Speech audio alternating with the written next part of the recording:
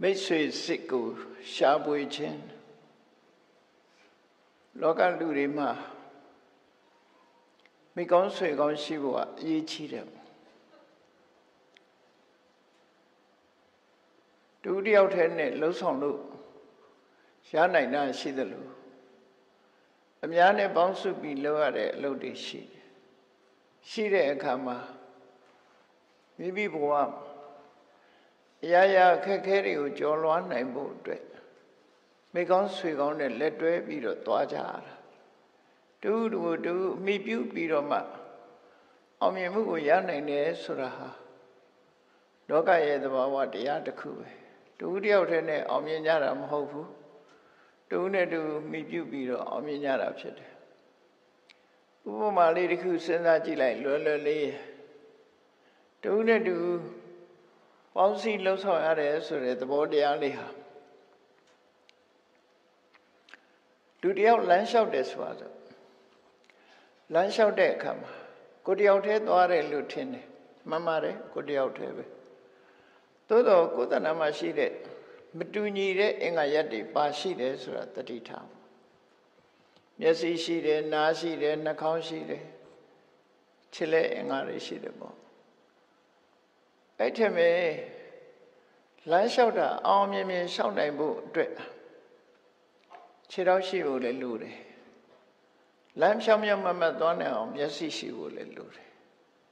ကြံတဲ့ခန္ဓာကိုအင်္ဂါစိတ်ပိုင်းလက်တွေကနေလှုပ်ရမ်းလွှဲပြီးတော့ပေးတာဆိုတဲ့ခန္ဓာကိုယ်ကနေရှေ့တိုးလို့ရအောင်လွှဲပေးရတယ်ဆိုတဲ့ဟာလည်းပါတယ်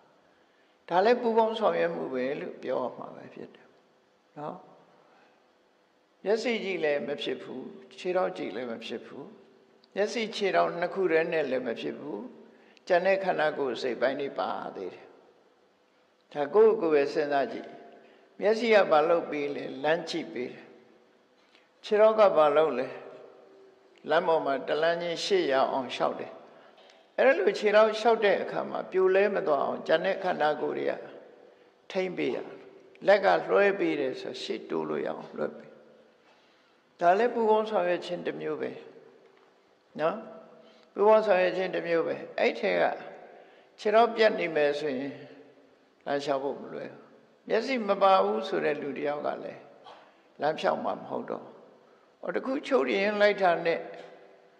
ဘဝမှာဒီအစဉ်ပြေမှုကရောကြသွားဒါဟာဘ ဝဟာတယောက်ထီးလောက်ရတာမဟုတ်ဘူးဆိုတာကိုယ်ခန္ဓာကိုယ်တစ်ခုတည်းမှာနေပဲပေါင်းစည်းဆောင်ရွက်မှုပေါင်းစည်းထားတဲ့သဘောတရားကို နားလည်ဆောင်ရွက်ကြမှာဖြစ်တယ်။နောက်ဥပမာတစ်ခုပြောအောင်ချောင်းပဲဖြစ်ဖြစ်မြေဖြတ်ဖြစ်ဖြစ်ဟိုဘက်ကန်းကိုဖြတ်ကူးခြင်းတယ်ဖြတ်ကူးခြင်းလို့ရှိရင်လှေနဲ့လူနဲ့ပေါင်းစားရတယ်။အနည်းဆုံး လှေနဲ့လူနဲ့နှုတ်ပေါင်းစားရမယ်။လှေကြည့်လဲဟိုဘက်ကန်းမရောက်ဘူးလူကြည့်လဲဟိုဘက်ကန်းမရောက်ဘူးအဲ့တော့လှေနဲ့လူနဲ့နှစ်ဦးပေါင်းလိုက်တာနဲ့တပြိုင်တည်းဟိုဘက်ကန်းချောချောမောမောရောက်သွားတယ်လူကလှေစီးသွားတယ်ဆိုရင်လှေဟိုဘက်ကန်းရောက်အောင်လူရဲ့ဆွမ်းဆောင်မှုတွေပါတယ်နော်လူမပါဘဲနဲ့လှေကဒီတိုင်းမသွားဘူးမျောသွားမှာပဲအဲ့တော့လူနဲ့လှေပေါင်းစည်းပြီးတော့ ဆောင်ရွက်တယ်ဆိုတဲ့အဓိပ္ပာယ်ဟာထင်ရှားတယ်ထို့တူပဲဘဝခရီးကိုရှောက်လန်းကြပြီဆိုရင်ဘုန်းကြီးတို့တွေလက်တွဲပေါ်ကိုယ့်ပေါ်မှာမေတ္တာတရားကြီးမားတဲ့မိတ်ဆွေဆိုတာလို့တယ်ပေါ့မိတ်ဆွေရဲ့အကူအညီမိတ်ဆွေရဲ့လမ်းညွှန်မှုတွေမိတ်ဆွေရဲ့အထောက်ပံ့နေတဲ့မှာဘဝဆိုတာအောင်မြင်ကြည်ပွားနိုင်တာဒါမှန်တယ် အဲ့ဒီလိုလူလောကလူတွေဟာအပေါင်းအသင်းနဲ့နေကြတဲ့အခါမှာကိုယ်နဲ့အတူလက်တွဲတဲ့ပုဂ္ဂိုလ်ကမိတ်ဆွေစစ်ဟုတ်ချင်မှလည်းဟုတ်တယ်အေကိုနဲ့လာလက်တွဲတဲ့ပုဂ္ဂိုလ်ကမိတ်ဆွေစစ်ဖြစ်ခြင်းနဲ့ဖြစ်တယ်အတူလက်တွဲပေါ်တယောက်ဟာမိတ်ဆွေစစ်ဖြစ်မှကိုလိုရခရီးကိုရောက်ရှိနိုင်တယ်မိတ်ဆွေစစ်မဟုတ်ဘူးဆိုလို့ရှိရင် လူရစကားမရောက်နိုင်ဘူးဘလောက်ပဲပူပေါင်းပူပေါင်းအဲ့ဒီပုဂ္ဂိုလ်ဟာအကျိုးပြုမှာမဟုတ်ဘူးကိုဒါကြောင့်မို့ရသော်ဘုရားကမိတ်ဆွေနဲ့ပတ်သက်ပြီးကြီးပွားတိုးတက်ဖို့လူဘဝရလာတဲ့အခါမှာပထမဆုံးဟောတဲ့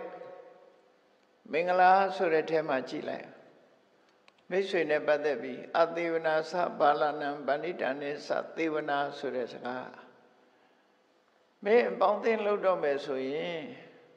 အတိညာကင်းမဲ့တဲ့လူကိုမပေါင်းနဲ့အတိညာရှိတဲ့လူနဲ့ပေါင်းဆိုဒါအခြေခံမိတ်ဆွေတူကိုဖော်ပြလိုက်တာပဲနော်အခြေခံမိတ်ဆွေဖော်ပြတိညာရှိတဲ့လူနဲ့လက်တွဲဖို့ဆိုလိုတယ်တိညာရှိတဲ့လူနဲ့ပေါင်းမှကိုလို့တဲ့အလုပ်ဟာအောင်မြင်တယ်လို့ဆိုမအောင်မြင်ဒါကြောင့်မို့အဲ့ဒီအဓိပ္ပာယ်ပဲ ကုမ္ပဏီတွေကသူတို့နဲ့လက်တွဲဖို့တွေမန်နေဂျာလုပ်မဲ့ပုဂ္ဂိုလ်တို့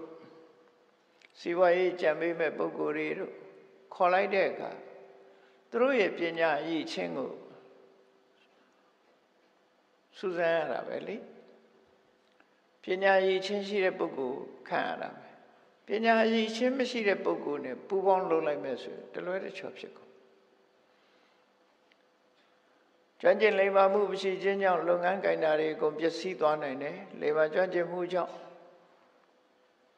လုပ်ငန်းကိုင်တာတွေအောင်မြင်သွားနိုင်တယ်ဒီအိဗေကိုဆွလို့တာမင်္ဂလာဆိုတာကြီးပွားတိုးတက်တယ်လို့ပြောတာ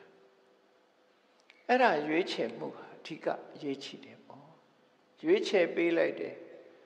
အသိဉာဏ်မရှိတဲ့လူမရွေးနဲ့အသိဉာဏ်ရှိတဲ့လူရွေးအသိဉာဏ်မရှိတဲ့လူနဲ့လက်မတွဲနဲ့အသိဉာဏ်ရှိတဲ့လူနဲ့လက်တွဲ ဒီလိုဆိုလိုတယ်ပေါ့ဘာပဲဖြစ်ဖြစ်အပေါင်းအသင်းနဲ့ပတ်သက်ပြီးမြတ်စွာဘုရားဟောထားတာတွေရှိတယ်ပေါ့နော်အပေါင်းအသင်းရွေးပြီဆိုတဲ့အခါမှာလူတယောက်ရဲ့အရေးချင်းဟာကိုယ့်ရဲ့သားတဲ့လူလည်းဖြစ်ခြင်းဖြစ်မယ်ကိုယ်နဲ့ဓာန်တုဖြစ်တဲ့လူလည်းဖြစ်တယ်ကိုယ်အောင်နှိမ့်ကြတဲ့ပုဂ္ဂိုလ်တွေလည်းဖြစ်တယ်အရေးချင်းအတွေ့ခေါ်အပြင်ကိုယ်ရဲ့နှိမ့်ကြတယ် အဲ့ဒီအချက်နဲ့ပတ်သက်လာလို့ရှိရင်လည်းမြတ်စွာဘုရားဟောထားတယ်နိဟိနသေဝီပုရိသောနိဟိယတိကိုယ်ရဲ့အောက်တန်းကြတဲ့လူနဲ့ပေါင်းလို့ရှိရင်ကိုယ်လည်းအောက်တန်းကြသွားတယ်အောက်တန်းကြတဲ့လူနဲ့ပေါင်းရင်အောက်တန်းကြတာဘာနဲ့တူတုံးဆိုလို့ရှိရင်တွင်းတူးတဲ့လူနဲ့နာယစီတဲ့လူမတူပယံဆိုပါတော့တွင်းတူးတဲ့လူဆိုတာ တွင်းနဲ့လေသူအောက်ရောက်သွားလိမ့်မယ်တွင်းနဲ့ဆင်းတူးရတာဟုတ်နော်တွင်းတူးပြီဆိုလို့ရှိရင်တွင်းနဲ့လေသူအောက်ရောက်လိမ့်မယ်အဲ့တော့ကိုယ်ရဲ့အောက်တန်းကြတဲ့လူနဲ့ပေါင်းတဲ့လူကတွင်းတူးတဲ့လူနဲ့သွားတူးတယ်တူးလေတူးလေအောက်ကျသွားလေအေးနိုင်ရန်တို့တရိုင်းတို့စီတဲ့လူကြတော့ဟုတ်တလွားပြီးတလွားတလွားပြီးစီတယ်သူကမြင့်လာဖြည်းဖြည်းချင်း မြင့်လေသူကလည်းမြင့်လိုက်လာလေဒီလိုအဲ့ဒါကြောင့်မို့မြတ်စွာဘုရားကိုယ့်ရဲ့အောက်တန်းကြတဲ့လူလည်းမပေါင်းနဲ့မပေါင်းနဲ့ဆိုတော့သူ့ကိုဆရာမတင်နဲ့လို့ပြောတာနော်ဆရာမတင်နဲ့လို့ဆိုလို့တယ်ပေါင်းသင်းဆက်ဆံတယ်လို့ဆိုတာဆရာအနေနဲ့ပေါင်းသင်းဆက်ဆံတာပြောတာအတူအနေနဲ့လို့ပြောတာလည်းမဟုတ်ဘူးဒါတွေကနော်ဆရာမတင်နဲ့သူ့အကြံဉာဏ်နေမယူနဲ့လို့ဆိုလို့ ထို့တူပဲကိုနဲ့အရေးချင်းတူတဲ့လူနဲ့ပေါင်းရင်ကိုဟာဓာတ်နု level လောက်ပဲဓာတ်နုညီမြလောက်ပဲကြည်ပေါ်တိုးတက်နိုင်တယ်ထက်တမရောက်ပြန်ဒါကြောင့်မို့ကိုယ့်ရဲ့သားတဲ့လူနဲ့အမြဲတမ်းပေါင်းမှုလို့တယ်ပညာရသားရင်သူဆရာပညာရမယ်တွေးခေါ်မြောင်မြင်သားတယ်ဆိုရင်ကိုကသူဆရာတွေးခေါ်ရရ ပေါင်းတာတင်းတာကစပြီးတော့ဥပမာငွေကြေးတဲ့နာချမ်းသာတဲ့လူနဲ့ပေါင်းမှကို့မှငွေကြေးအကူညီရတာသရောင်းစားနဲ့သွားပေါင်းရင်ခွက်ထဲဟာပဲရချီးဖို့ရဆိုနော်အဲ့ဒီအဓိပ္ပာယ်မျိုးကိုဆိုလိုတာပေါ့အဲ့တော့လောကမှာအပေါင်းအသင်းတွေဟာဓမ္မအရေးကြီးတယ်အခြေခံအစပြီးတော့အပေါင်းအသင်းဆိုတာဓမ္မအရေးကြီးတယ် အစစ်မြင့်တဲ့တရားကိုမပြောနဲ့အခြေခံစားမြတ်စွာဘုရားရဲ့ဟောပြောချက်တွေဟာလူမျိုးနဲ့လည်းမဆိုင်ဘူးဘာသာတရားနဲ့လည်းမဆိုင်ဘူးလူလောကလူဘဝနဲ့ပဲသက်ဆိုင်တယ်လူသားတွေနဲ့ပဲသက်ဆိုင်တယ်ကိုယ်ွယ်ရတဲ့ဟာမဟုတ်ဘူးအလုံးလုံးရမယ်ဟာဖြစ်တယ်သိရှိနားလည်အောင်သင်ယူရမယ့်အရာဖြစ်တယ်အခုခေတ်ကြည့်လေတ က္ကသိုလ်တွေကောလိပ်တွေတက်ပြီးပညာသင်ကြတယ်ပညာသင်လို့ဘွဲရလာတယ်ဘွဲဆိုတာပညာရဲ့သင်္ကေတတစ်ခုပဲဒီပညာသူဖြေဆိုလို့အောင်မြင်သွားပြီဆိုတဲ့သင်္ကေတသူ့ရဲ့အမှတ်သားတစ်ခုပေးလိုက်တာအဲ့ဒီဘွဲဟာကိုးကွယ်ဖို့လားဆိုကိုးကွယ်ဖို့မဟုတ်ရထားတဲ့ပညာဟာကိုးကွယ်နေဖို့လားဆိုကိုးကွယ်ဖို့မဟုတ်ဘူးမလုပ်ဖို့အသုံးချဖို့သာဖြစ်တယ် မြတ်စွာဘုရားဆုံးမတွေကလည်းပဲထို့တူပဲသင်ယူရမယ်သင်ယူပြီးတဲ့အခါမှာလက်တွေ့ဘဝနဲ့ဆက်ဆက်ပြီးတော့သုံးချရမယ်လို့အသုံးချပြီးဆိုတဲ့အခါမှာဒီအသုံးချခြင်းကြောင့်ဖြစ်ပေါ်လာတဲ့အကျိုးကျေးဇူးတွေဟာရလာနော်လုပ်ငန်းတစ်ခုဟာပထမသင်ယူခြင်းဟာပဲစရတယ် မြတ်စွာဘုရားရဲ့ဆုံးမတရားတော်ကိုလည်းသင်ယူခြင်းအစားလောကလူတွေဟာအကျိုးရှိတဲ့ပညာဆိုရင်ဂုဏ်သင်ရတယ်စီးပွားလှုပ်ရှားလို့ရတယ်ထွင်းစားလို့ရတယ်ပညာရတည်အပြစ်ကင်းတဲ့ပညာရတည်မှန်သမျှတကယ်ကတော့ကိုယ့်အတွက်အကောင်းဆုံးအထောက်အကူဖြစ်မဲ့အရာတွေဖြစ်တယ်သင်ပေးတဲ့လူကကိုယ့်ရဲ့မိတ်ဆွေပဲဟောသင်ပေးတဲ့ပုဂ္ဂိုလ်ကကိုယ့်ရဲ့မိတ်ဆွေခုခေတ်ဆိုပညာတွေမျိုးစုံရှိတယ် အခြေခံအဖြစ်ပြောမယ်ဆိုရင်ထမင်းချက်နီးဟင်းချက်နီးဒါလည်းပညာပဲသင်ထားတယ်မုံဖုတ်နီးပညာသင်ထားတယ်မုံဖုတ်တတ်တယ်ထွင်းစားလို့ရသွားပြီဟင်းချက်နီးတတ်တယ်ထွင်းစားလို့ရသွားပြီထွင်းဆိုင်ဖွင့်လို့ရသွားပြီစသဖြင့်ပေါ့နော်ဝေကြီးချမ်းသာသည်ဖြစ်စေမချမ်းသာသည်ဖြစ်စေကိုယ်တိုင်လှုပ်တတ်ပြီဆိုတဲ့အခါကိုယ်ပညာစွမ်းအားနဲ့လူတွေဟာအသမွေးဝါကြောင့်ဖြစ်နိုင်တယ်မြတ်စွာဘုရားကလည်းဒါကိုဟောတာပဲနော် မြတ်စွာဘုရားဟောတဲ့ထက်ပဲအခြေခံကြတဲ့ဤစနစ်တွေဟာလူသားတွေအောင်မြင်နေတဲ့လူသားတွေလိုက်နာကျင့်သုံးတဲ့အချက်တွေကြီးပဲအကုန်လုံးအဲ့ဒါတွေကိုဟောတာဗုဒ္ဓပွင့်ပေါ်လာခြင်းကြောင့်ထူးခြားတဲ့လမ်းကြောင်းနဲ့ထူးခြားတဲ့အသည့်ဆိုဝိပဿနာပဲရှိတယ်။ကျန်တာကတော့အလုံးတူတူပဲတပြေးညီပဲဘာမှမထူးနော်။လောကအတွင်းမှာချမ်းသာဖို့ ဤပညာတွေမျိုးစုံရှိတယ်။ဘာရှိလဲစိုက်ပျိုးရေးဤပညာရှိတယ်။ကုံထုတ်လုပ်တဲ့ဤပညာရှိတယ်။ခေါ်တဲ့ပြောတဲ့ဤပညာရှိတယ်။အစသဖြင့်ဘယ်လို့ပဲဖြစ်ဖြစ်လောကတန်တရားကြီးပွားတိုးတက်ရေးအတွက်ပညာရဟာတန်ဖိုးမပြတ်နိုင်ဘူးလို့ဆိုလို့တယ်။အဲ့ဒီပညာတွေကဘယ်ဟာရတော့မိကောင်းဆွေကောင်းတွေစီရရတာ။ဆရာကောင်းသမားကောင်းတွေစီရရချတာဖြစ်တယ်။ အေးလုံးလုံးပြီးဆိုတဲ့အခါမှာအစင်သာဝရလူစရာဟာ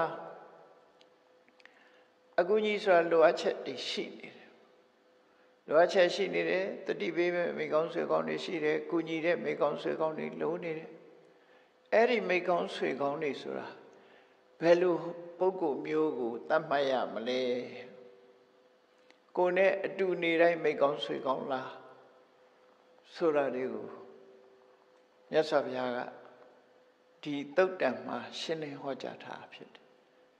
ဒီတုတ်ကဟိရိတုတ်လို့ခေါ်တယ်ဟိရိဆိုတာရှက်ချင်းလို့အဓိပ္ပာယ်ရတယ်ရှက်ချင်းဆိုတာမကောင်းတဲ့အလုပ်မဟုတ်တာလုပ်ရမှရှက်တယ်ဒါလူအရေးချင်းတစ်ခုပဲလူတော်လူကောင်းဖြစ်ဖို့ရမကောင်းတာလုပ်တာရှက်တတ်မှာ လူလူလေကောင်းမှမရှက်တတ်ဘူးဆိုတဲ့လူတယောက်ဟာဟိုလူကောင်းမဖြစ်နိုင်ဒါရှက်တယ်ဆိုတာလူကြားတဲ့ထစကားမပြောရတာတို့ဒီလိုဟာမျိုးပြောတာမဟုတ်ဘူးမဟုတ်တဲ့အလုပ်တွေဥမာမဲကပိုင်းနိုင်ရမှာရှက်တယ်ခိုးရမှာရှက်တယ်ဟောသူ့ကိုလူဆိုးလို့ထင်မှရှက်တယ်စသဖြင့်ပေါ့ဒုစရိုက်အလုပ်တွေနဲ့ပတ်သက်လာရင်ရှက်တာကိုဆိုလိုတာအဲ့မကောင်းတဲ့အလုပ်တွေနဲ့ပတ်သက်လာရင်ရှက်ရမ ကောင်းတဲ့အလုပ်တွေနဲ့ပတ်သက်လာပြီးတော့ခုံမယူမိစီရရှက်ရမယ်ဒီအလုပ်တွေကမလုပ်သင့်တဲ့အလုပ်တွေပဲဒုစရိုက်ကျွလွန်တဲ့အလုပ်တွေခုနဆောက်တည်လိုက်တဲ့ငါးပါးသီလဖောက်ဖြစ်တဲ့အလုပ်တွေဒါတွေရှက်ရမယ်အလုပ်တွေကြီးပဲအဲ့ဒီရှက်ရမယ်အလုပ်တွေကိုရှက်တတ်ဖို့ဟောဟိရိတုတ်မှာရှက်တတ်တာလူရဲ့ဂုဏ်တစ်ခုပဲအဲ့ဒီဂုဏ်ကြီးနဲ့လည်းပဲတိုင်းတလို့ရတယ်မိတ်ဆွေမိတ်ဆွေစစ်ကိုရှာပွေတဲ့အခါ ဟိရိတုတ်တံဆိုပြီးတော့မြတ်စွာဘုရားဂါထာ၅ပုံနဲ့ဟောတာရှိတယ်အဲ့ဒီတုတ်ပဲလုံးဝနိဗ္ဗာန်တူညီတဲ့စကားလုံးတွေနည်းနည်းပါပါလေးကွဲပြားတာလေးတော့ရှိတယ်363ဇက်မြောက်950ထဲမှာ363ဇက်မြောက်ဟိရိဇတ်ဆိုတာလည်းရှိတယ်နှစ်ခုစလုံးဟာအတိပ္ပယ်အတူညီတယ်ပေါ့ဟိရိဇတ်နဲ့ဟိရိတုတ်တာ သို့တော့ဖြစ်ပေါ်လာခြင်းအကြောင်းဘာကြောင့်ဟောရဲဆိုတာမတူဘူးကွဲပြားခြားနာတယ်ဘယ်လိုပဲကွဲပြားခြားနာခေတ်ကာလအပြင်လည်းကွဲပြားခြားနာတယ်ဟောရခြင်းအကြောင်းလည်းကွဲပြားခြားနာတယ်သို့တော့ပေါင်းတဲ့ဆက်ဆံရမယ့်မိတ်ဆွေမပေါင်းရမယ့်ပုဂ္ဂိုလ်ဒါတွေကိုလမ်းညွှန်မှုပြုတဲ့အချက်တွေကတော့လုံးဝတူညီတယ်ပေါ့ဒီနေရာမှာ ဟိရိဇတ်ကိုမဟောဘူးဟိရိတုတ်တန်ကိုပဲဟောမယ်နော်အလုံးကနှစ်ခုစလုံးကတူနေတယ်မှတ်သားလိုက်တဲ့အရာတွေကြီးပဲမှတ်သားလိုက်တယ်ဆိုတာမိမိအတွက်မှတ်သားပြီးတော့မိမိဘဝမှာအသုံးချဖို့သူတို့ဆိုလိုတယ်ပေါ့သုံးချလို့ရှိရင်ကိုယ့်အတွက်ကောင်းမြတ်တဲ့အကျိုးတွေရလာကိုပညာသင်ထားရင်အဲ့ဒီပညာကိုသုံးချပြီးတော့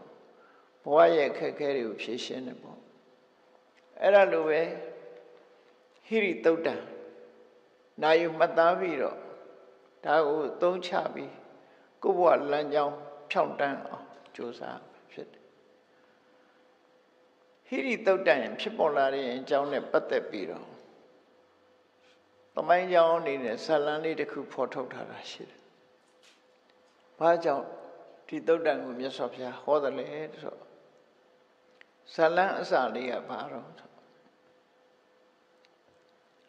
မြတ်စွာဘုရားမပွင့်ခင်မှာအနည်းငယ်စောပြီးတော့ဗာရဏသီပြည်မှာကျွယ်ဝချမ်းသာတဲ့ပြမနာမျိုးကတထေတူရှိတယ်ပြမနာမျိုးတထေကြီးမှာသားလေးတယောက်တည်းပဲမွေးဖွားတယ်သူတို့ဟာအစင်လာချီးကြတယ် ရှေးခေတ်ကအဆူဆောင်တဲ့အမတမကောင်းကြတယ်ဘိုးဘွားပြည်ပင်ကစပြီးတော့ရှားဝေစုထောင်းတာတွေကိုစနစ်တကျရှာထားသူနဲ့ရှာထားသူရဲ့အမည်ရထားတဲ့ပစ္စည်းဥစ္စာဒါတွေကိုစနစ်တကျအကန့်လိုက်အကန့်လိုက်သိသိထားစင်းနဲ့အင်းနဲ့မတန်းတင်ထားတာရှိတယ်အဲ့ဒီမတန်းတင်ထားတဲ့ယရနာတိုက်ကြီးတွေအဲ့ဒီမှာ အတော်ကိုကြွယ်ဝချမ်းသာတဲ့အဲ့တထေးကြီးတွေဟာအသက်အရွယ်ရောက်တဲ့အခါမှာသူတို့အမွေဆက်ကမဲ့သားလေးတယောက်ပဲမွေးဖွားပြီးဘဝဆိုတာနောက်ဆုံးဆုံးသက်သွားကြတာလူတိုင်းလူတိုင်းဟာဒီတိုင်းပဲနော်အရွယ်လေးရလာပြီဆိုရင်ဘဝတစ်ခုဆုံးသက်သွားကြတာဖြစ်တယ်အဲ့ဒီမှာ ဘဝတစ်ခုဆုံးသက်သွားတဲ့အခါမှာကျန်ရတဲ့သားသမီးကဒီပစ္စည်းတွေကိုစီမံခန့်ခွဲရတယ်ပေါ့တူရဲကျန်တာဆိုတော့မွေဆိုင်မဲ့လူမရှိဘူးသူတူရဲပိုင်တာဗန္နာရိုက်တွေဖွင့်ပြီးတော့ဗန္နာထိန်တဲ့ trustee တွေပေါ့မိဘမျိုးရိုးတွေခန့်ထားခဲ့တဲ့ဗန္နာတော်ဒိန်းတွေရှိတယ်ပေါ့ အဲ့ဒီလူတွေကစရင်နဲ့အင်းနဲ့သူ့ကိုလာပြီးတော့ရဏရိုက်တွေပြပြီးတော့စရင်အင်းတွေစစ်ပြတယ်ပေါ့သူတို့ဘဝလက်ထက်ကရှာခဲ့တဲ့ပစ္စည်းတွေကဘာတွေဘာတွေမိဘလက်ထက်ကရတဲ့ပစ္စည်းတွေဘာတွေဘာတွေဆိုအကုန်လုံးစရင်နဲ့အင်းနဲ့ပြတယ်အဲ့စရင်အင်းပြပြီး ယရနာတွေကိုလိုက်ပြီးတော့ချိတယ်စီမံခန့်ခွဲဖို့ယရနာပစ္စည်းတွေကိုလိုက်ပြီးတော့စင်းနဲ့အင်းနဲ့လိုက်လံစစ်ဆေးတယ်ပအဲ့တထေးသားလေးရဲ့ခေါင်းထဲမှာဘာဝင်လာဘာတွေးမိတော့ဆိုသူအဖိုးရှာသွားတဲ့ပစ္စည်းဆိုရင်အဖိုးရောဖွာရောမရှိတော့ဘူးခုသူတို့ရှာသွားတဲ့ပစ္စည်းတွေရှိနေတယ်အဖိုးရဲ့အဖေအမေရှာသွားတဲ့ပစ္စည်းတွေရှိတယ် အဖေအမေတွေမရှိဘူးထို့တူပဲအဖိုးရဲ့သားသမီးဖြစ်တဲ့သူအဖေအမေတွေရှာသွားတဲ့ပစ္စည်းတွေကြာဟောအဖေတွေအမေတွေလည်းမရှိဘူးပစ္စည်းတွေတော့ကြိုင်တယ်ဆိုတော့သူစိတ်ထဲမှာဘလို့တွေးပြီးတော့ဆိုသုံးမကုံအောင်များပြားလာတဲ့ဒီပစ္စည်းတွေလူတွေဟာရှားရှာပြီးတော့ဒီတိုင်းပဲထားပစ်ခဲ့ကြတာဒီအတွေးလေးဝင်လာတယ်လူတွေကတည်သွားပြီပစ္စည်းတွေကဒီတိုင်းပဲထားခဲ့ရတယ် မှန်တယ်လေဒီတိုင်းပဲလေဒီနားမှာကုတ်ကိုင်းလမ်းစုံနားမှာရှိတယ်ချင်းချောင်းပဲလေးဆိုတာရှိတယ်မဟုတ်လားထင်ရှားတာတခုပြောမယ်ဆိုတော့ချင်းချောင်းနန်းတော်ဆိုတဲ့နာမည်နဲ့ချင်းချောင်းပဲလေးဆိုတာရှိတယ်အမြဲတမ်းချမ်းသာတဲ့တရုတ်တထေးကြီးကသူ့အင်ကြီးကိုနန်းတော်ကြီးလို့စောင့်ထားတာလေခုပဲရှိတော့တော့လူမရှိတော့ဘူး သားသမီးတွေလည်းမရှိတော့ဘူးခုပိုင်ဆိုင်သူကသူ့မျိုးနွယ်မဟုတ်တော့ဘူးလေအလုံးထားပြခဲ့ရပြီဒါနမူနာလေးတစ်ခုထုတ်ပြမြန်မာပြည်မှာစာပွဲရတဲ့တထေးတွေတကြိုးတို့မလွယ်မြေတွေပိုင်သွားကြတယ်ရှိသေးလားမရှိတော့တချို့မိသားစုတော်မရှိတော့ဆက်ပြတ်တယ်နောက်ပိုင်တဲ့လူတွေနောက်ပိုင်ဒီလူတွေလည်း အခုလက်ရှိပိုင်နေတဲ့လူတွေလည်းဒီလိုပဲသွားမှာပဲဒီတဘာဝတရားဒီလိုပဲသွားမှာဟိုရာဆိုရင်ကိုလွှမ်းကြည့်လိုက်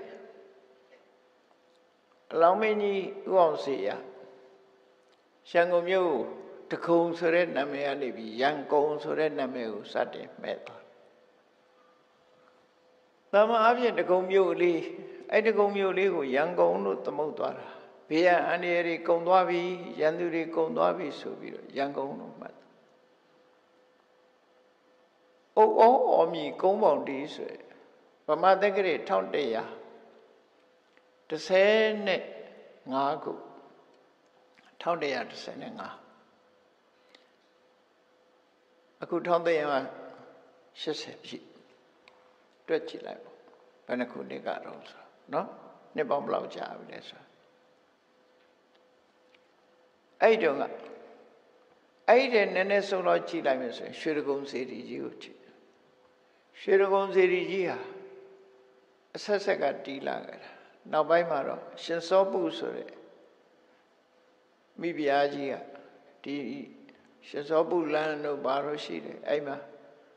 ဒီရွှေရုံစေရီကြီးနားမှာနေသွားပြီးတော့စေရီကြီးကိုတည်သွားကြတဲ့ပုဂ္ဂိုလ်ရှိသေးလားမရှိဘူးစေရီကြီးရှိသေးတယ် အဲ့ဒါလိုပဲဘဝတစ်ခုဟာပြောင်းလဲသွားကြတာတွေကြီးပဲအလုံးအလုံးကထားခဲ့တာနှစ်ပေါင်းကြာလာရင်ထားခဲ့ရမှာခုဒီကနေ့ခေပိုင်ဆိုင်တဲ့ပုဂ္ဂိုလ်တွေဆိုလည်းပဲနှစ်တရာအတွင်းမှာသူတို့ထားပြီးတော့သွားကြမှာပဲအကုန်လုံးယူသွားမဲ့ပုဂ္ဂိုလ်တယောက်မှမရှိဘူးနှစ်တရာအတွင်းမှာထားခဲ့ကြမှာပဲ အဲ့တော့ဒီတထေးသားလေးကယရဏပစ္စည်းတွေကိုကြည့်ပြီးဒီယရဏပစ္စည်းတွေသူတို့အလုံးအောင်ရှားပြီးထားပစ်ခဲ့ကြတယ်ငါတော့ဒါတွေဒီတိုင်းမထားခဲ့နိုင်ဘူးငါလည်းသူတို့လမ်းကြောင်းတိုင်းသွားမှာပဲအဲ့တော့ဒီပစ္စည်းတွေကိုငါယူသွားမယ်ဆိုတဲ့အတူတွေးတယ်အဲ့တော့လောကမှာပစ္စည်းဆိုတာယူသွားလို့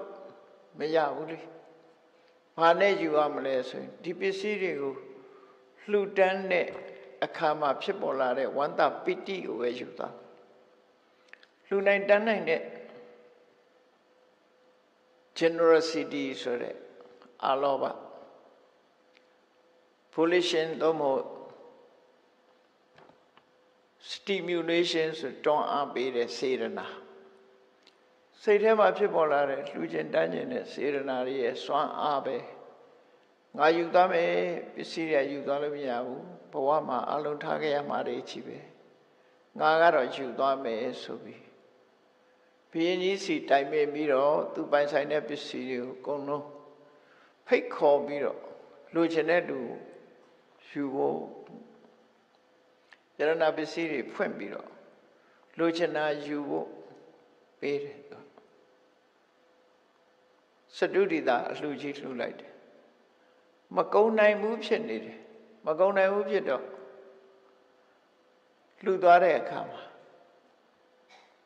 ကုံသည်ဖြစ်စေမကုံသည်ဖြစ်စေသူစောင့်ပြီးတော့မလုပ်တော့အဲ့တော့သူ့မှလည်းပဲသူ့အပေါင်းအသင်းတွေသူ့ရဲ့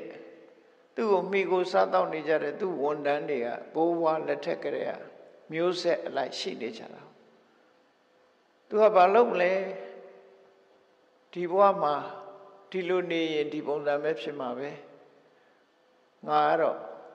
ပစ္စည်းတွေပေါ်မှာမဲမဲမောမောမရှိတော့ဘူးတောထွက်ပြီးတော့ရသေးဝင်မယ်လို့ဆိုတော့သူခြံရံဘေးသက်တွေကမထွက်ပါနဲ့ပစ္စည်းတွေဘလောက်ကုန်ကုန်ပြန်ရှာတာအလွယ်လေးရှာတတ်တယ်လေသူတို့ဒီပစ္စည်းလောက်ကတော့ခဏပဲသူတို့ပြန်ရှာမယ်မထွက်ပါနဲ့လို့ဝိုင်းတာတယ်ဒါပေမဲ့လို့မရဘူးသူဟာ တနေ့ကျတော့မင်းတို့ဘလို့တာတာသိချင်းတရားနဲ့ကျတော့ထွက်ခွာရမှာပဲအလုံးသိချင်းတရားနဲ့ဆုံတဲ့အခါတော့အိမ်မောကဆင်းရမှာပဲဘယ်သူပဲဖြစ်ဖြစ်ရန်ကုန်တို့လိုမျိုးတွေဆိုလို့ရှိရင်တော့သိရင်သိကြကြတောင်းမထားဘူးအိမ်တောင်မခေါ်တော့ဘူးသာမှတ်ပြီတော့ရေဝေတန်းပို့တာပဲနော်ဟိုမှာအိမ်အိမ်ခန်းရှိတော့အဲ့ဒီပို့လိုက်တာ ဟုတ်ရင်တော့မှအိမ်နေရသေးတယ်လေအိမ်မှာအိတ်ခွင့်ရသေးတယ်အခုခေတ်မှာအိမ်ဘယ်သူမှအိတ်ခွင့်မပေးတော့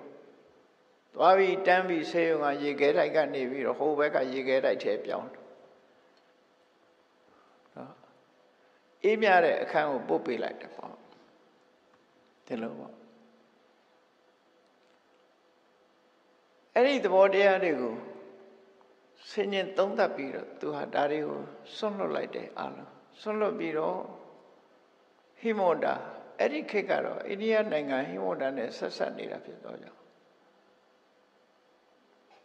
ဘဝရဲ့ချမ်းသာကြွယ်ဝမှုတွေကို renounce လုပ်တယ်လို့ဆွလွတ်သွားတဲ့ပုဂ္ဂိုလ်တွေအားလုံးဟာတောဘက်ကိုထွက်ကြတယ်တောထဲကိုထွက်ကြတယ်ဘယ်သူကမှမိကိုပြီးတော့မနေဘူး တောထဲမှာစားကောင်းတဲ့တတိဝလန်နေရှိတယ်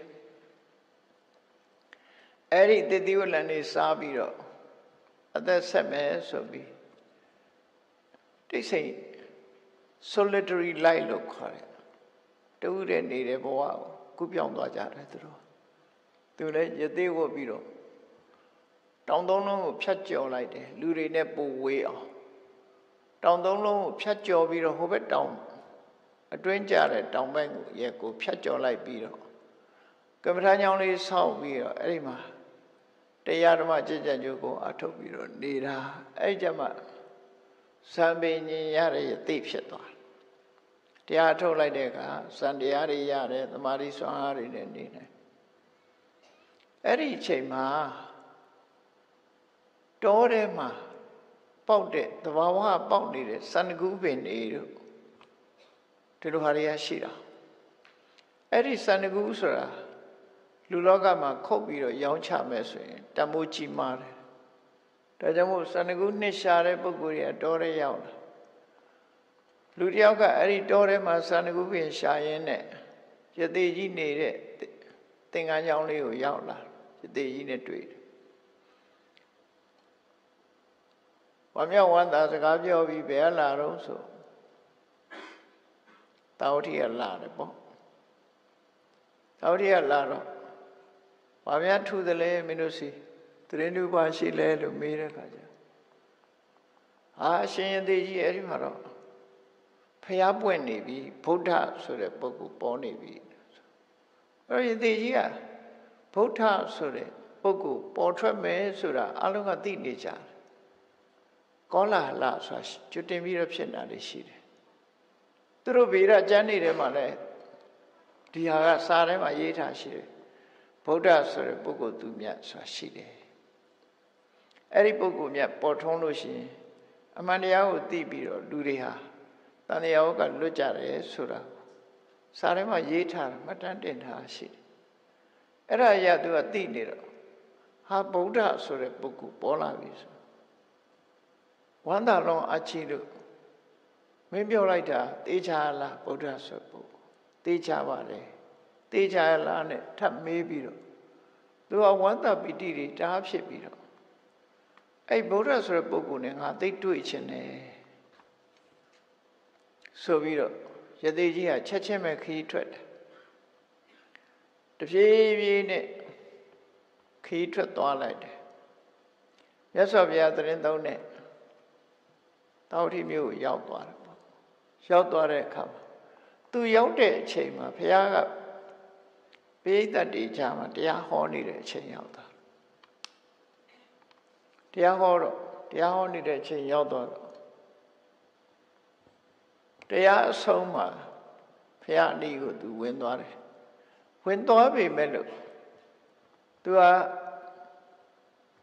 ဖះကိုတန်တော်ကြည့်အောင်သာကြည့်တာဖះကိုကိုးကွယ်သူမဟုတ်ဘူးကိုးကွယ်သူမဟုတ်သည့်အတွက်ကြောင့် သူကိုယ်တိုင်ကယသိဆိုတော့ယောသိကာရဝမပြုဘူးဒီတိုင်းပဲနှုတ်ဆက်ပြီးတော့သူစိတ်ထဲကဘာကြံတွေးလိုက်တုံးဆိုရင်အင်းဗုဒ္ဓဗုဒ္ဓလို့ပြောတယ်ရုပ်ရည်ကတော့မတန်ထူးခြားတယ်ဒါပေမဲ့တကယ်ဗုဒ္ဓအစစ်ဆိုရင်ငါမေးကုန်မေးလိုက်မေးမယ်ငါမေးကုန်မေးရင်သူဖြေရဖြေလိုက်မယ် ဗုဒ္ဓဟုတ်မဟုတ်ငါစမ်းသပ်မယ်ဆိုပြီးသူမေးကုန်ကနှုတ်နဲ့မေးမှမဟုတ်ဘူးစိတ်ကူးမဲ့မေးကုန်လေးဖို့ကိုသူစိတ်ကူးလိုက်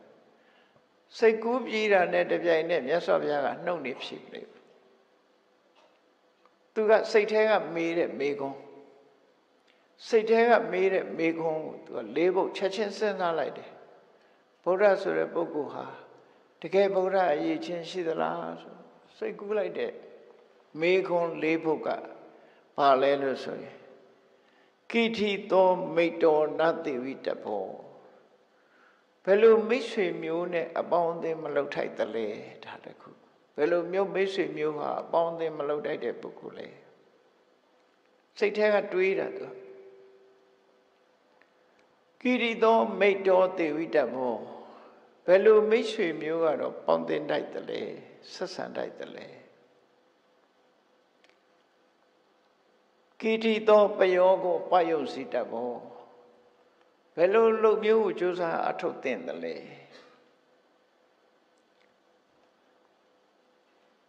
ကိရတနာအခါလောကမှာအရသာတွေထဲမှာဘယ်အရသာအကောင်းဆုံးလဲစိတ်ထဲမှာဒီမေးခွန်းလေးပုဂ္ဂိုလ်သူစိတ်ထဲကနေမေးလိုက်တာသူမေးလိုက်တာနဲ့ စိတ်ထဲကတွေးလိုက်တာနဲ့တပြိုင်နက်အံ့ဩဖွယ်ရမြတ်စွာဘုရားသူမေးခွန်းကိုတန်းပြီးတော့ဖြေလိုက်တယ်တစ်ခုပြီးတစ်ခုတန်းဖြေလိုက်တာအဲ့ဒါဟိရိတုတ်တံဖြစ်ပေါ်လာခြင်းအကြောင်းပဲပေါ့နော်အဲ့တော့မြတ်စွာဘုရားဖြေလိုက်တဲ့အဖြေကမိတ်ဆွေစိတ်ကိုရှားပွေးသူအတွက်မိတ်ဆွေစစ်ဆိုတာဘာလဲဆိုတာကို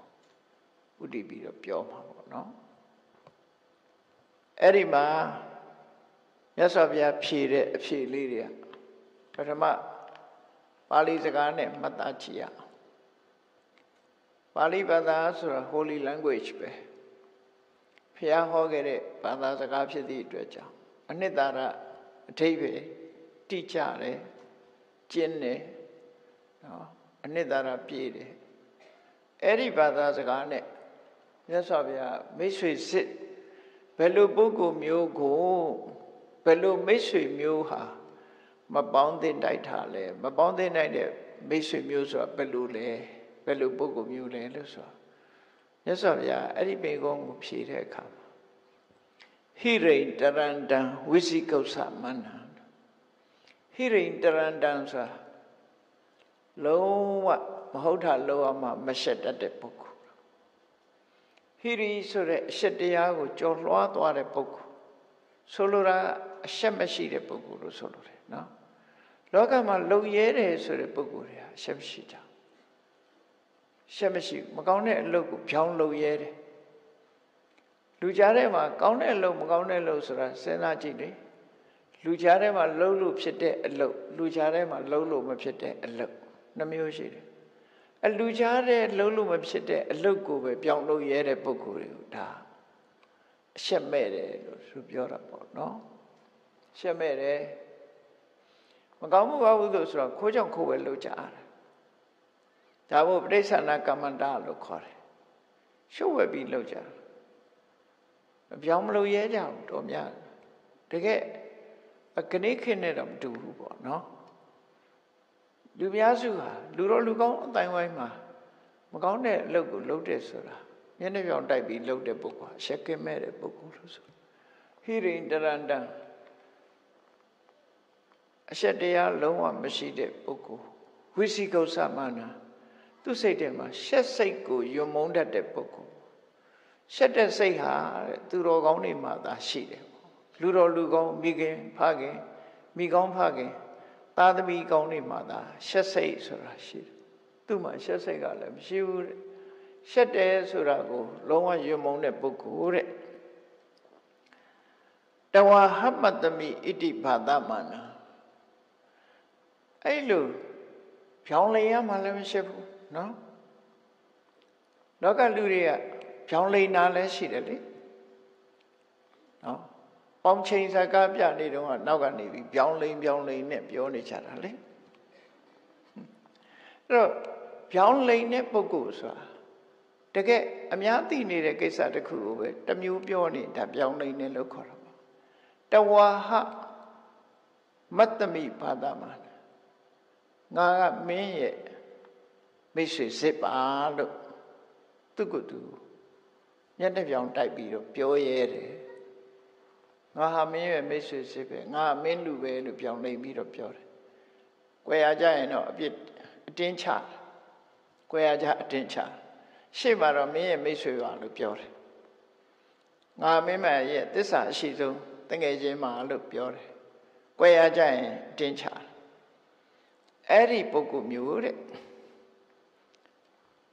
တဝဟမတမိဣတိပါဒမနာတဝအဟံအတ္တမိငါဟာမင်းလူပါမင်းရဲ့မိတ်ဆွေစစ်ပါလို့ရှေ့မှာတော့ပြောင်းလိန်ပြီးတော့ပြောရတဲ့သူတရှာနိကမ္မာနိအနာတိယန္တံ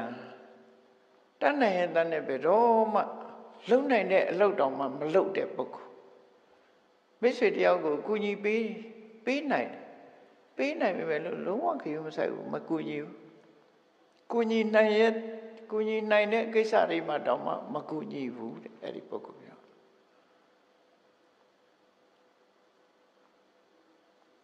ကူညီနိုင်တဲ့ပုဂ္ဂိုလ်ဖြစ်အောင်ကိစ္စဖြစ်အောင်မကူညီဘူးနေသောမမန္တိဣတိနံဝိစညာတဲ့ အခုမြတ်စွာဘုရားဟောလိုက်တဲ့မိတ်ဆွေစစ်ကိုရှားပြီးဆိုလို့ရှိရင်အဲ့ဒီလိုပုဂ္ဂိုလ်မျိုးဟာတဲ့မင်းရဲ့မိတ်ဆွေမဟုတ်ဘူးမိတ်ဆွေစစ်မဟုတ်ဘူးဆိုတာနေသောမမံဣတိနံဝိစညာဒီလူဟာသူ့ပါဇက်ကဘလောက်ပဲချိုးနေနေဒါငါလူမဟုတ်ဘူးလို့သာမှတ်ထားငါမိတ်ဆွေမဟုတ်ဘူးလို့သာမှတ်လိုက်တဲ့နော်လောကမှာအရှက်မဲ့တဲ့လူအရှက်တရားကိုယုံမုံတဲ့ပုဂ္ဂိုလ် ရှေ့မှာဆိုလို့ရှိရင်ငါမင်းရဲ့မိတ်ဆွေစစ်ပါလို့ပြောရဲတဲ့ပုဂ္ဂိုလ်ကွယ်ရမှာကြတော့အတင်းချတဲ့ပုဂ္ဂိုလ်ကူညီနိုင်တဲ့အခွင့်အရေးရှိတဲ့နဲ့မကူညီပဲနဲ့အပြောတက်တက်နေတဲ့ပုဂ္ဂိုလ်ပြောတက်တက်ပဲအပြောတက်တက်ဒီသင်္ကလောဝါဒတုံးမှာဆိုလို့ရှိရင်အတိတ်နဲ့အခါနဲ့အနာဂတ်နဲ့အခါနဲ့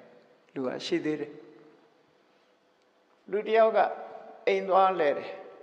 တကယ်ချင်းမင်းမနေတော့ကမလုပ်မလားလဲငါအိမ်မနေ့ကချက်သားဟင်းချက်တယ်ချက်မချက်တော့မသိဘူးမနေ့ကချက်တာပြောတာမကြွေးရဘူးလေအေးပြီမနေ့တော့ကငါချက်သားဟင်းချက်တာမင်းမလာဘူးကွာမင်းကိုမျောနေတာအဲ့ဒါအတိတ်နဲ့အခန့်တယ်လို့ပြောအတိတ်နဲ့အခန့်မင်းနှစ်ဖြင့်ကလာရင်ကောင်းသားကွာခဏလာလိုက်တာမင်းကဟောဒီလိုအနာဂတ်နဲ့အခန့် အဲ့ဒါမျိုးဝစီပရမမိတ်ဆွေလောကလူတွေမှာ lip service ဆိုတာရှိတယ် lip service ဆိုတာပါဇက်ကလေးနဲ့ပဲအခါနဲ့ပါဇက်ကလေးနဲ့ပဲလုပ်ပြီးတယ်တကယ်မလုပ်ဘူးเนาะ lip service နှုတ်ခမ်းများလေးနဲ့ပဲပြောတယ်ပြောရင်တော့ကြောက်အောင်ပြောတယ်လေတကယ်ကြလက်မပါ အဲ့ဒီလိုမိတ်ဆွေမျိုးတွေကိုတဲ့နမေသော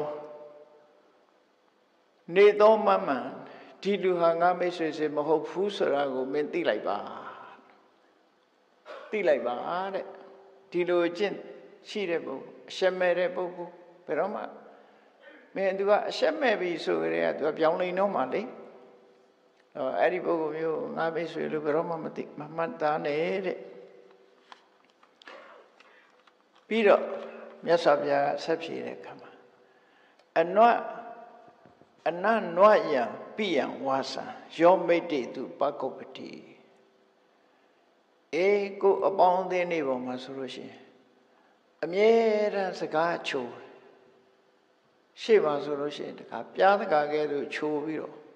သူလောက်ကူညီတာသူလောက်မင်းပေါ်မှာချစ်ခင်တာနော်မင်းကိုကူညီခြင်းတာဆိုတဲ့ပုံစံမျိုးတွေပေါ့သူဟာ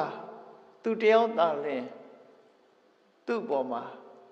ကောင်းတယ်မိဘတဲ့တောင်ကောင်းသေးတယ်ဆိုပြီးတော့ဘာတစ်ခုမှအပြောတတ်တတ်ပဲတဲ့ဘာတစ်ခုမှလုံးမပေးဘူး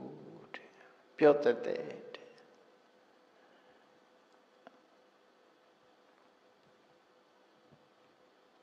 ယံအကရွန်တံဘာသမနံပရိသနန္တိပန္တိတာလောကလူတွေဟာပြောတတ်တဲ့ဆိုလို့ရှိရင်မလုပ်ဖဲပြောနေတာတွေက ဘယ်တော့မှဒီမလုပ်ဖဲနဲ့တချို့ကပြောကြတယ်လေအပြောကတစ်မျိုးအလုပ်ကတစ်မျိုးအလုပ်လုပ်တယ်ဒီနေရာမှာဇာတကမှာပါရာနဲ့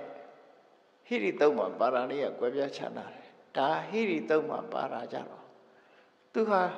နှုတ်ကပဲချိုးတော့လဲလက်မပါတဲ့ပုဂ္ဂိုလ်တဲ့ဘယ်တော့မှမလုပ်ဘူးတဲ့နှုတ်ပဲချိုးတယ်နှုတ်ကတော့ကောင်းတာပဲဝေးနေအောင်ပြောတယ်ဝေးစားနေအောင်ပြောတယ်ကြောက်အောင်ပြောတယ် လက်မပါဘူး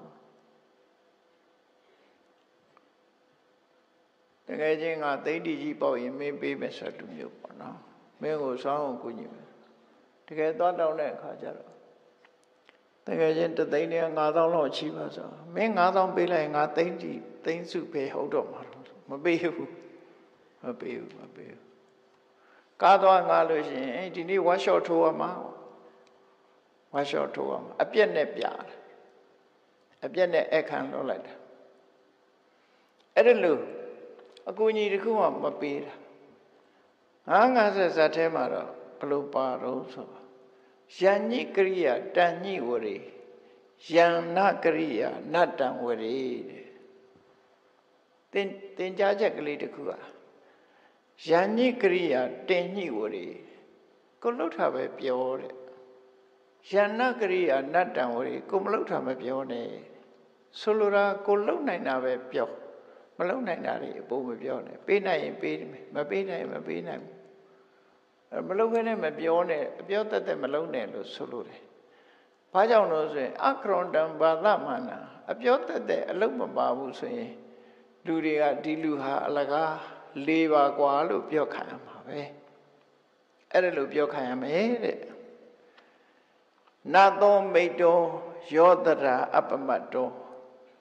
ဘေဒသင်္ကိရန္ဒမေဝနုပတိတဲ့နော်သူဟာစင်ဆက်မပြတ်စင်ဆက်မပြတ်ဒီဘေဒသင်္ကိအပြက်ကိုသာတွေးပြီးတော့အပြက်ကိုသာရှာတတ်တဲ့ပုဂ္ဂိုလ်မျိုးဟာ ဒီလိုပုဂ္ဂိုလ်မျိုးမိတ်ဆွေမဟုတ်ဘူးအဲ့ဒီမိတ်ဆွေကိုမျိုးမပေါင်းသင့်ဘူးဟောဒီပထမမေကုန်းကိုဖြေလိုက်တာဗျာနော်ဗေဒသင်္ကိရန္ဒမေဝနုပတိအပြစ်ကိုသာတွေးတယ်ဘယ်တော့မှအကောင်းဘက်ကမတွေးဘူးအပြစ်ကိုသာရှာတယ်ဘယ်တော့မှအကောင်းမမြင်ဘူးအဲ့ဒီမိတ်ဆွေမျိုးကိုဘယ်တော့မှမပေါင်းသင်းလေးနဲ့တဲ့ဒါအဲ့ဒီမေကုန်းရဲ့အဖြေ နံပါတ်1မေကုန်းဘယ်လိုမိတ်ဆွေမျိုးကိုမပေါင်းရမှာတော့ဆိုဒီလိုမိတ်ဆွေမျိုးတွေမပေါင်းနဲ့တတိထားတဲ့ဟောနောက်တစ်ခါဘယ်လိုမိတ်ဆွေမျိုးကိုပေါင်းရမှာလဲလို့ဆိုတဲ့ဒုတိယမေခွန်းရဲ့အဖြေကြတော့ယတမေသသေတိဥရတိဝပုတ္တောတဝေမိတ်တော်ယောပရိဟိအပိသောမင်းနဲ့ပေါင်းတဲ့တဲ့ပုဂ္ဂိုလ်ဟာ မင်းနဲ့ကြီးတယ်ဆိုလို့ရှိရင်သူကမင်းအပေါ်မှာကိုသားသမီးလို့စိတ်ထားတယ်မင်းနဲ့ငယ်မဲ့ဆိုရင်မင်းအမေမင်းအမေဖေးသဘောစိတ်ထားတယ်တကယ်ကိုဆွေရင်းမျိုးရင်းလို့အနစ်နခံတယ်ယောပရိဟိအပိသောဘယ်သူကလာပြီးအပြစ်ပြောပြောလုံးဝလက်မခံဘ ယ်သူပြောလို့မှမကွယ်ဘူးခွာနည်းနည်းလေးပြဲပြောရင်ကွဲတတ်တယ်လေနည်းနည်းလေးပြောတာနဲ့ကွဲသွားတယ်စိတ်ချင်းစိတ်ဝမ်းကွဲသွားအဲ့ဒါလို့သူများတွေကဝင်ပြီးတတ်ရှို့လို့မရနိုင်တဲ့ပုဂ္ဂိုလ်မျိုးတဲ့ကိုယ့်ပေါ်မှာလုံးဝသစ္စာရှိတယ်မိတ်ဆွေမျိုးကိုသာလေပေါင်းသင်းဆက်ဆံပါလို့ဒုတိယမေကွန်အနေနဲ့မြတ်စွာဘုရားဒီလိုဖြေလိုက်တယ်နောက်တစ်ခါ ဘာလုပ်သင့်လဲဘယ်လိုလုံးဘယ်လိုအရာမျိုးကိုစူးစမ်းအထောက်အမှားလဲလို့ဆိုတဲ့အခါမှာစိတ်ထဲကမေးတဲ့မေးခွန်းကိုမြတ်စွာဘုရားဖြေတယ်ပါမောဇကရဏံဌာနပတန္တာဝဟနံဒုက္ခံလုံလဝီရိယနဲ့ကြိုးပမ်းအထုတ်လိုက်မယ်ဆိုရင်จิตနဲ့ဆရာကောင်းတဲ့အတိုင်းအတာတစ်ခုရရှိသွားတယ် လောကလူတွေဟာဆောင်းဝဲအောင်မို့ဆိုအကြီးတွေမကြခင်ဆယ်တန်းဆောင်းဝဲတွေထွက်တယ်ကျိုးစားလိုက်ကြတာကလေးတွေကစတဲ့ပန်းလိုက်ပမောဇကရဏကာရဏပြောနေကြတာလေပြောလိုက်ကြတာမှထွေးမစားနဲ့ဟင်းမစားနဲ့ပြောကြဒီ6လုံးနဲ့ဒီ5လုံးဒီ4လုံးနဲ့ပြောနေကြတာပေါ့နော်ဘလောက်ပြောမယ်ဆိုတာစဉ်းစားကြည့်ပေါ့မိဘတွေကလည်းဘလောက်ပြောမလဲ ကျိုးပန်းအထုံမှုဟာအဲ့ဒါလို့ပါမောဇကရဏကာရဏထာနာဝမ်းမြောက်မှုကိုဖြစ်ပေါ်စေတတ်တယ်လုံလဝိရိယလုံလဝိရိယရဲ့အကျိုးကိုရရှိကြတယ်ပတန်တာဝေနဒုက္ခတော်လိုက်တာတော်လိုက်တာနော်ဘေးကလူတွေလည်းချီးမွမ်းကြတယ်တော်လိုက်တာလို့ချီးမွမ်းခံရတာဒုက္ခပဲချမ်းသာစိတ်ချမ်းသာမှုကိုရရှိကြတယ်အဲ့ဒါကြိုးပမ်းအထုတ်ခြင်းကြောင့် တော်လိုက်တာလို့ချီးမွမ်းခံရတယ်ဖလာနိတန်သောဘာဝိတိကောင်းကျိုးချမ်းသာကိုလိုချင်လို့စောင်းဝဲအောင်ခြင်းလို့ဆိုတဲ့အကျိုးစီးပွားဖြစ်ထွန်းခြင်းလို့ဆိုတဲ့အကျိုးတွေကိုမျောလင်းပြီးတော့အလုတ်ကြိုးစားလုပ်ခဲ့တာတဲ့ဝဟန္တောပောရိတန်တဏလုံလဝိရိယထုတ်ပြီးတော့ပောရိတန်ထုတာလုံလဝိရိယထုတ်ပြီးတော့ကျိုးပန်းအထောက်အမဲ့အလုတ်တွေကို ချိုးချိုးဆားဆားလုပ်ခဲ့သည့်အတွက်ကြောင့်အလုံငန်းအောင်မြင်တဲ့အခါမှာပျော်မဆုံးဝမ်းသာမဆုံးဖြစ်ကြရတယ်ဆိုတဲ့ဟာအဲ့ဒီလိုကျိုးပန်းအထောက်မျိုးကိုလုပ်ပါအထုတ်ပြီးတော့ပျော်ရမယ့်အလုပ်ကိုလုပ်ပါလို့ဆိုလိုတယ်နော်အထုတ်တိုင်းအပျော်နဲ့တွေးမှာမဟုတ်ဘူးလေတချို့ကအလုံးလုံးပြီးတော့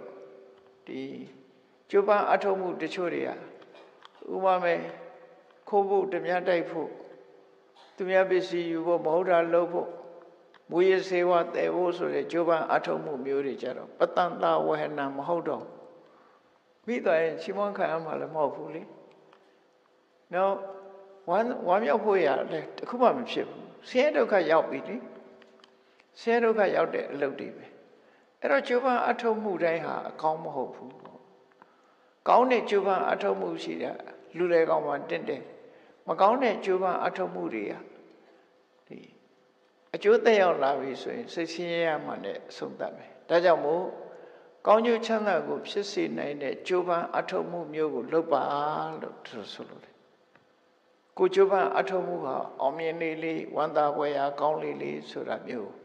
ကျိုးပန်းအထုတ်ပါလို့ရသော်ဗျာဒီလိုဖြေတယ်နောက်တစ်ခုကတော့အရသာထဲမှာဘယ်အရသာအကောင်းဆုံးလဲ ဆိုတဲ့အခါမှာနော်တင်ရင်သည်ကြိုက်တဲ့ဒူရင်သည်ကြိုက်တဲ့လူကဒူရင်သည်လို့ဖြေခြင်းဖြစ်မှာပေါ့နော်အဲ့ဒါလို့မဟုတ်ဘူးအဲ့ဒီအရသာတွေကိုမေးတာမဟုတ်ဘူး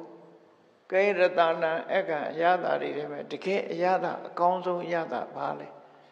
တွင်းသည်ကလည်း၄50လုံးစားပြီးမစားနိုင်တော့ဘူးနော်မစားနိုင်တော့ဘူးလုံးဝ ဤသွားတာမရှိတဲ့အရာတာမျိုးဘယ်လိုရတာတော့ဆို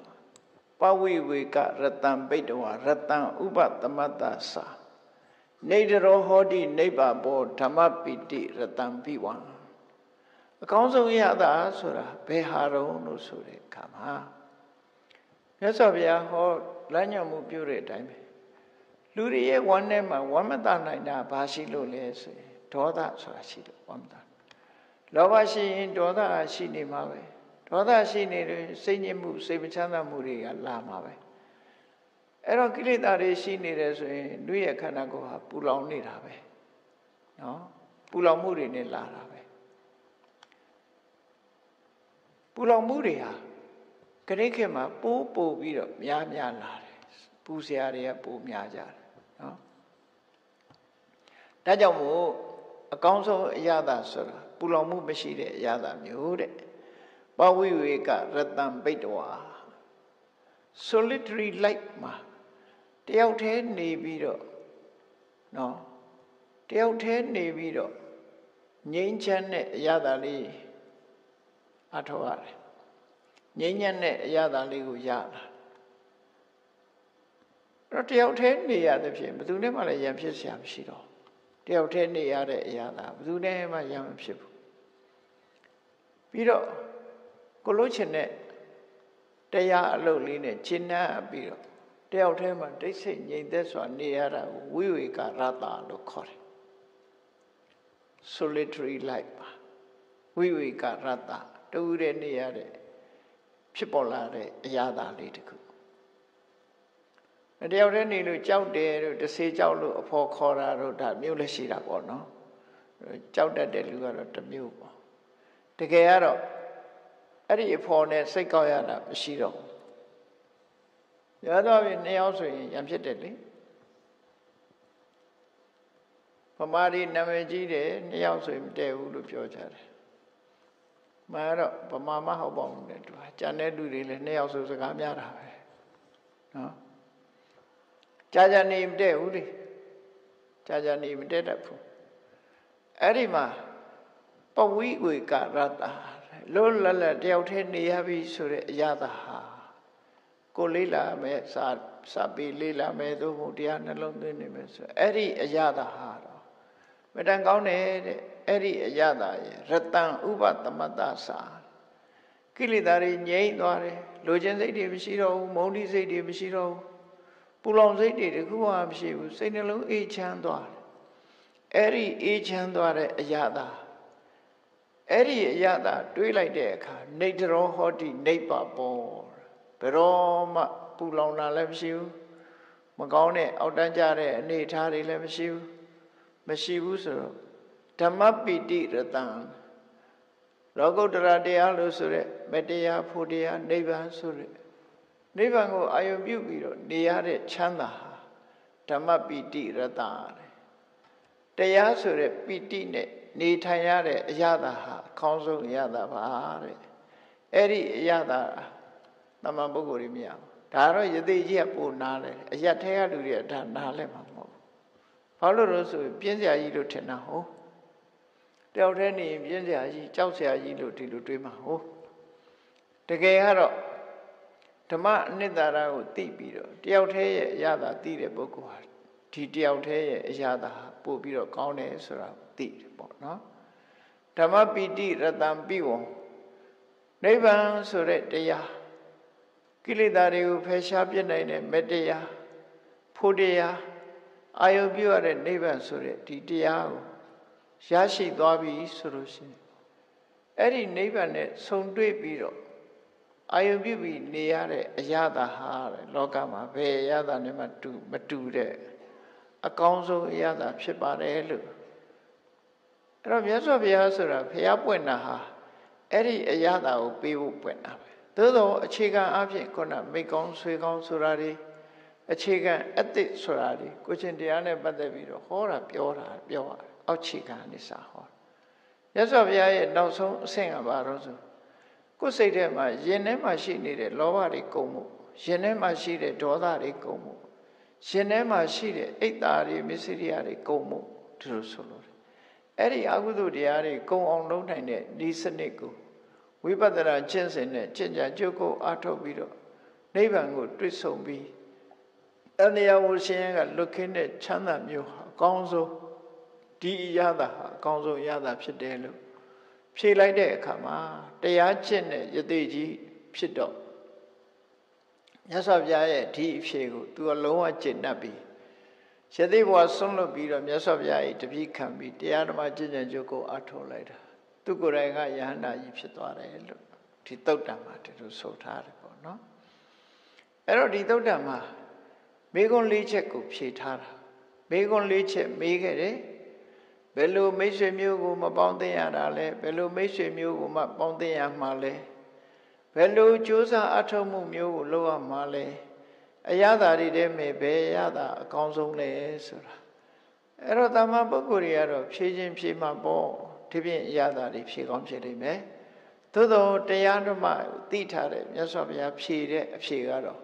လောကလူတွေဖြည့်တဲ့အဖြေနဲ့မတူဘူးပေါ့အဲ့ဒီမတူတဲ့အဖြေကိုရမှလူတွေရဲ့စွဲရင်စိတ်ဟာကုံဆုံးပါလေလူတွေဟာ ဘလောက်ပဲပြောနေနေနောက်ဆုံးအချိန်မှာဘယ်သူမှမပြောနိုင်ဘူးနောက်ဆုံးအချိန်ပြောနိုင်တယ်လို့မရှိဘူးယောဂရလာပြီနောက်ဆုံးအချိန်ရောက်လာပြီဆိုရင်လူတွေဟာခြေမကင်မိလက်မကင်မိဖြစ်တယ်နော်ဘဝဟာပြောနိုင်တဲ့အချိန်မဟုတ်တော့ဖြစ်သွားတယ်ရသော်ဘုရားတရားတော်တွေကတော့နောက်ဆုံးအချိန်ထိအောင်ထာဝရပြောနိုင်တဲ့အပြောမျိုး ပျော်မွေ့သွားနိုင်တယ်စိတ်ဓာတ်ကြံ့ခိုင်မှုအပြည့်အဝရတယ်လို့ဒီလိုဆိုလိုတယ်အေးဒါကြောင့်တရားချစ်ခင်သူတော်စင်ပြိဿအပေါင်းတို့မွေးစေစစ်ကိုရှားပွေခြင်းလို့ဆိုတဲ့ဒီသုတ်တံမှာအဓိကအခြေခံအစာဟောထားတာဒီနာယူမှတ်သားထားကြပြီးမိမိတို့နဲ့ပေါင်းသင်းဆက်ဆံမဲ့ပုဂ္ဂိုလ်တွေဟာအခုလိုမိတ်ဆွေစစ်ဖြစ်ကြလားမိမိကိုယ်တိုင်ကရောအဲ့လိုမိတ်ဆွေစစ်ဖြစ်ရလားဆိုတာတွေကို တတိထားပြီးကိုပါလုံးတဲ့တယ်ဘယ်လိုရတာမျိုးရမှ